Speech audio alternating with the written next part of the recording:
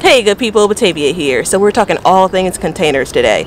We have about 60 containers we're growing vegetables in, herbs, and then we did sneak some fruit in as well. Okie doke, so the city is waking up, but we have overcast, which should make for some good viewing. Um, I'm going to go ahead and take a walk around and we'll talk housekeeping items, but then I'll also be able to show you how the containers are situated. So, quick thank yous to those who like, watch, comment, share, and subscribe to B Betta Garden. I appreciate it. If you haven't subscribed already, consider it. And if you do, you can hit the notification bell so you'll be alerted each time I share more garden videos. Alrighty, so for containers this year, we have around 60 that we're actively growing in and we started back in the spring. Um, we're growing through the summer in containers. Today is July the 11th, 2022. I am in Chicago, Illinois, in the U.S. I garden in Zone 6, and uh, one of my goals is to grow a lot of things, but to use different techniques, different methods, um, different growing mediums, and exploring kind of what does well under what circumstances and containers have really been a great tool if you will to help me do that. Um, this year the majority of the containers are in the backyard so that's where we're going to spend the most of our time. And then we'll do towards the end a quick walkthrough of what's growing in containers in the front yard. So I have the cage baby. I've opened the doors to be able to give a good look at some of the containers inside here we have, and if I note it, I'll note the things that I purchased and planted. Everything else would be something that I started from seed, indoors, and then transplanted out, or I direct sowed. So kicking that off, I have strawberry plants absolutely purchased. I have them here. They're also in containers here. They're inside of this cage to protect them from birds and squirrels. Um, I have read some things about tomatoes and strawberries not being friendly. So I don't know if they'll live here in the next couple of years, but we'll see. I have some carrots that were direct sowed in this container, some basil that I'm pretty sure I transplanted. Um, doing well. This is that lettuce leaf basil that's just beautiful. I have to come in before these leaves start to change colors and get this harvested. I kind of have this pulled out only because um, underneath here it doesn't get watered as well as I'd like, you know, just naturally through the rain. Um, and then this is a shadier spot of the garden because of the deck compared to everything that's kind of in the center of the garden. Um, so I pulled that out a bit uh, that's some volunteer cilantro as well. These are beets I direct sowed. I sowed my beets last year, like the very beginning of April, the first week. They did wonderful. I got behind, didn't get beets sowed until maybe May or June, and I'm not sure if they'll actually produce um, the heads, the heat for this variety. Maybe too much, we'll see. But check out the ground cherry. First year growing them, I have them in three places and two of those three are containers. The one in the front yard is looking pretty pitiful, but this plant looks pretty good. I was checking online to see kind of what the size are. Everyone talks about how many, like you'll have more than you, you'll know what to do with. Um, and so I wasn't sure about kind of how big or small the plants get. Um, so we'll see if this works out. Shout out two times to Bubble Beat here on YouTube, who I've followed over the years. He's the first one I saw using these busboy containers, which are seven gallons. And then I also saw him recently, or maybe the video may not be recent, but I saw him uh, plant out ground cherries in a container like that. So I gave it a whirl. More beets here. Uh, let's see. Let's go over the grow bags. So 20 gallon grow bag here, 10 gallons, and then 20 gallon on the end. So second year trying to grow sweet corn. Last year was a success. We have sweet corn that was sowed, direct sowed in June-ish. Uh, and then we have some herbs that um, were basically planted out, started from seed last year in 2021, planted out in this bag, brought indoors for the winter. Uh, did well initially, then started to struggle. When I brought it out this spring, cut everything down, and then things started to grow back. You see a lot that's flowering, which is fine because the pollinators will love it. Uh, so this is parsley, some oregano uh, that is flowering. I have just one itty bitty mint plant. I think in the whole garden.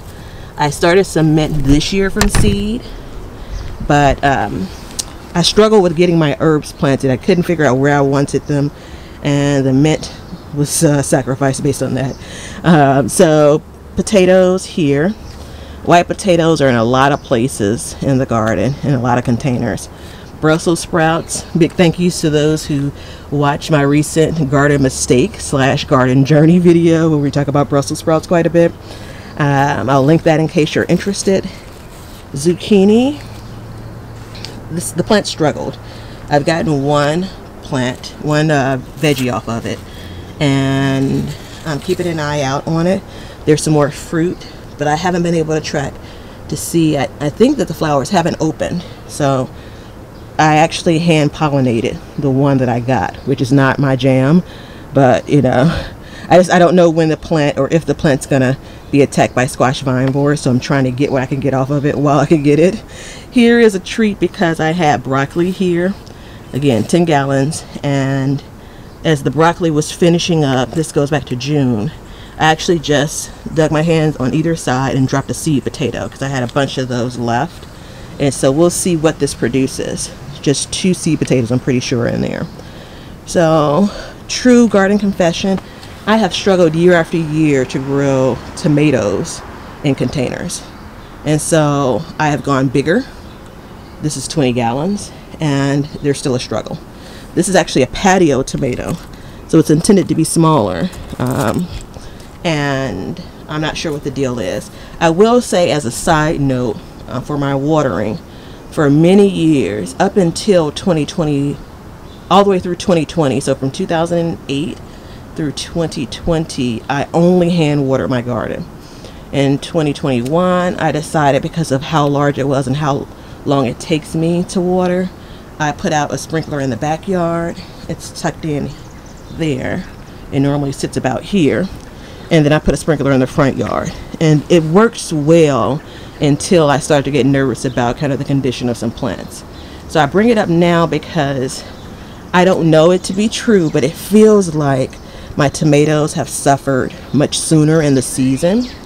And I wonder if that's from the increased overhead watering right? You know, so obviously rain is overhead watering, but um, so that all that said, I last year around this time, after overhead watering through sprinklers for maybe a month, a month and a half, I reverted back to kind of what I know, what I'm comfortable with, which is hand watering, and that's what I'm probably going to do this year. All right, moving on to the containers.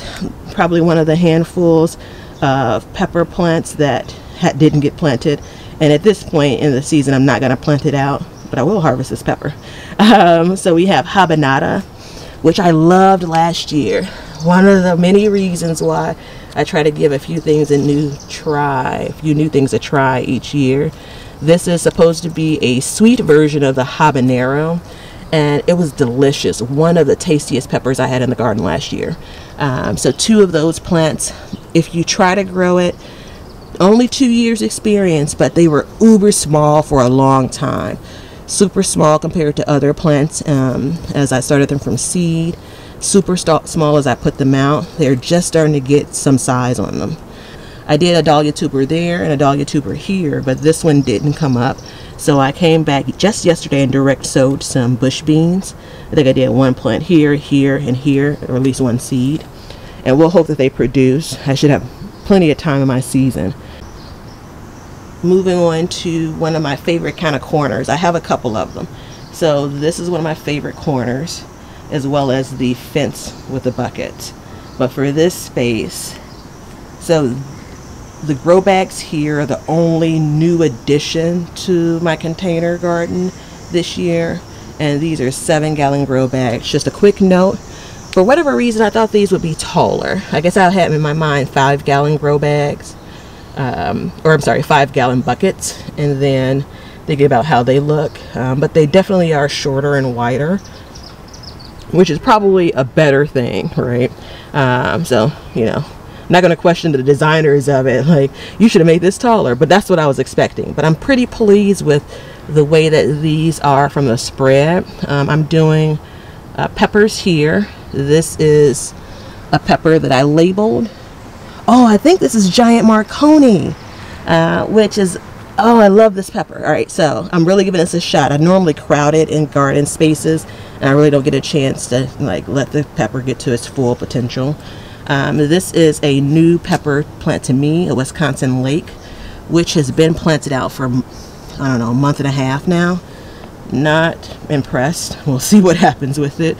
I'm hoping it changes my mind. There's some basil that I dropped in here, lettuce leaf basil. Um, I waited until, because I direct sowed this, I waited until it got some height on it and I'm going to come back in and mulch this. I'll probably just use some leaf, shredded leaves as mulch.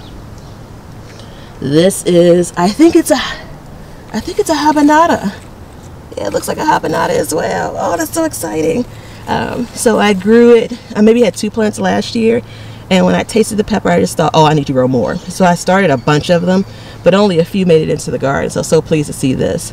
This is, I think, I'll correct it if not, but a 2.5 gallon container. And I bought these as a part of um, like two pepper plants and a Roma tomato. Um, and just save the plants because I thought that I ended up pulling the plants out of the containers and planting them in the garden that year, but save the containers themselves. Uh, this looks like a serrano pepper now that I'm looking at it as it puts on fruit. And then here is a shishito pepper. So I don't know how many of these plants I have in the garden, um, but I'm really going to try this year to harvest them green. It's everyone you see online who talks about how enjoyable they are, like just with a bit of oil and like um, sauteing them until they blister. They have them green, and I tend to wait until they get fully mature and red and then use them for some other things. But I'm going to really try to focus on that this year. Uh, so beans and eggplants here. Bush beans, purple bush beans, which um, I don't know, a little bit on the struggle bus. And then I have a eggplant. Based on the size container, my logic would have been to put a little finger eggplant here. But my logic doesn't always hold true. But we think that's a little finger eggplant. Uh, potatoes here. Well that's one of my favorite corners. This is probably my number one favorite space